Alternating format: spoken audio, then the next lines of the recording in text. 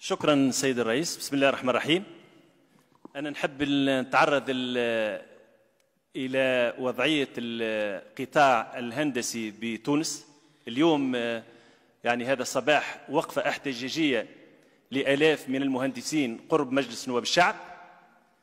وبقدر ما الإنسان يتفاعل مع الوقفات الاحتجاجية ولكنها مؤشر حسب رأيي على قلة التواصل وضعف الحوار مع الحكومة.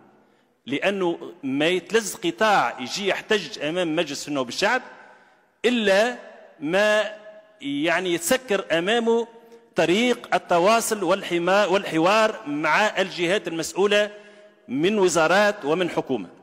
ولكن إحنا نتساءلوا علاش المهندسين يعني اضطروا لهذا الاحتجاج. المسألة بسيطة. تخص الوضع المادي والوضع المعنوي لقطاع هو العمود الفقري للتنمية في البلاد. ما يلزمش ننساه في وقت الثورة المباركة ما ينقطعش النور الكهربائي وراه مهندسين. ما انقطعش الماء الصالح الشراب وراه المهندسين. خدمات التطهير وراه المهندسين. البث الإذاعي والبث التلفزي وراه المهندسين. جميع الخدمات التزويد الأسواق بالخضر والغلال وراه المهندسين في القطاع الفلاحي. وكل ما فما نشاط وفما تنمية وفما إنتاج توجد القطاع الهندسي يعني هو العمود الفقري لهذا النشاط. ولكن شو الحال نتاعو الآن المهندس لعلم جميع المواطنين لم يقم بأي إضراب منذ 1988 وهذه مسؤولية وتحية إكبار لهذا القطاع الذي يحرص على القيام بواجباته وبعهدته في التنمية وفي مشاريع التنمية. منذ 1988 لم يقم بأي إضراب برغم الظروف المادية المتدهورة من سنة إلى أخرى.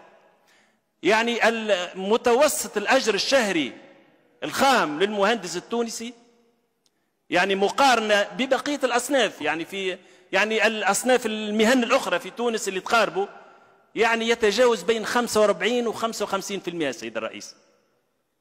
لكن مش نقارنوه بالدول الأخرى المنافسة لنا كما المغرب المغرب يعني المهندس المغرب يتقاضى حوالي ما بين ثلاثة إلى أربع أضعاف ما يتقاضاه المهندس التونسي.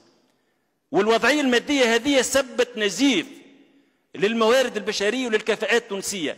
حوالي سنويا قرابة 2500 مهندس يغادر تونس يلتحق بالعمل يعني في أوروبا. وهذا من شأنه أن يمس الأمن الاقتصادي نتاعنا ويأثر على مشاريع التنمية وسيرها والتنفيذ نتاعها. شنو المطلوب الآن من الحكومة؟ ودعوة إلى السيد رئيس الحكومة أنه يفتح الحوار مع عمات المهندسين ومع الهياكل المسؤولة ونقابة المهندسين يعني للاشتغال على مشاغل يعني للاشتغال على الوضع المادي والمعنوي للمهندسين. المطلوب الآن العدالة بين كافة الفئات الأخرى كافة فئات المجتمع التونسي وكافة نطاقاته مش معقول يعني بعض المهن يعني تتحسن الوضعية المادية نتاعها بعد الثورة؟ وبعض المهن الأخرى كالقطاع الهندسي يبقى في ظروف يعني متدهورة قدرة الشرائية متدهورة والوضع المادي نتاعه يسوء من من سنة إلى أخرى.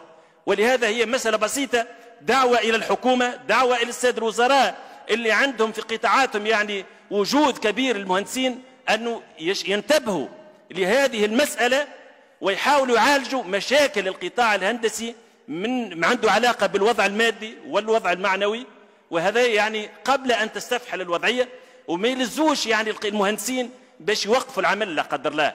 أحنا أنا أدعو المهندسين إلى مواصلة العمل بكل يعني مثابرة وبكل تفان كما عهدناهم دوما. وأدعو الحكومة إلى فتح الحوار وإلى الانصات إلى مشاغل هذا القطاع الهام.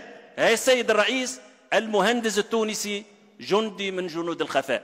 لا بد من الانتباه إلى مطالبه وما نلزوش باش يوقف العمل ولا باش يجي يحتج أمام مجلس النواب لأنه هذه خسارة للقطاع وخسارة للاقتصاد التونسي. شكرا سيد الرئيس. شكرا.